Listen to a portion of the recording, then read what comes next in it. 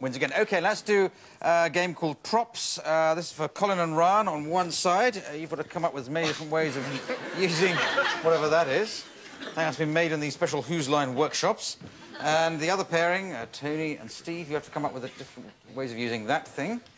And I buzz between the two pairings in the usual way. So we go starting over there, Ryan. Who would have thought they'd give two midgets like us a job working at Phantom of the Opera?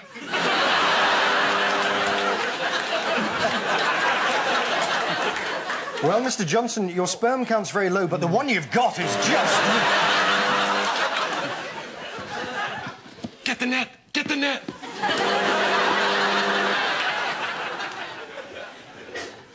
So I live in South London, and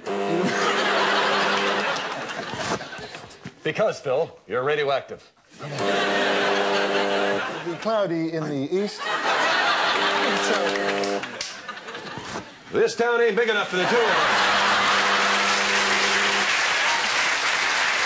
Uh, Robin, either I'm pissed or you've been messing around with my boat again, haven't you?